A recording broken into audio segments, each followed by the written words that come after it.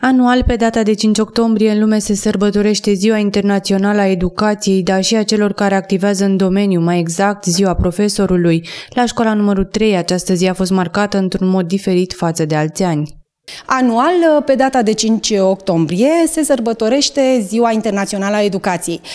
Așadar, școala gimnazială numărul 3 Slatina a invitat grădinițele partenere pentru a desfășura activități împreună cu ocazia acestei uh, minunate zile. Copii de la patru grădinițe au venit în vizită și au participat la diverse activități organizate de către elevi. Dintre toate, locul de joacă amenajat în sala de sport a fost preferatul celor mici. Când o să mergi tu la școală? La anul. Și unde o să mergi la școală? Nu știu. Aici la școala numărul 3 îți place? Da. Ce ți-a plăcut la școala numărul 3? Tot. La toamnă, când o să mergi tu la școală, unde o să îți alegi să mergi? Ce școală o să-ți alegi să mergi la ea? Aici. De ce aici? Încă îmi place.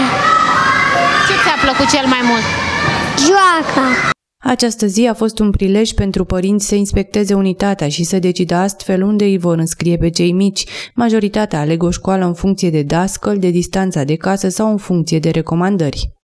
Care sunt criteriile pe care le aveți în vedere atunci când alegeți școala? Păi eu știu că este o școală printre cele mai bune și tatăl meu locuiește în apropiere și mi-e mai ușor. De-a lungul anilor, elevii de aici s-au remarcat prin rezultate foarte bune. În fiecare primăvară, numărul părinților care optează pentru clasele de aici este mare, lucru ce în timp a dus la extinderea școlii. Avem uh, două clase pregătitoare cu două doamne învățătoare cu multă experiență și multă dragoste pentru copii și așteptăm cu mult drag în toamnă. Înscrierile pentru clasa pregătitoare sunt stabilite pentru primăvară, atunci când fiecare școală organizează porți deschise și își prezintă oferta educațională.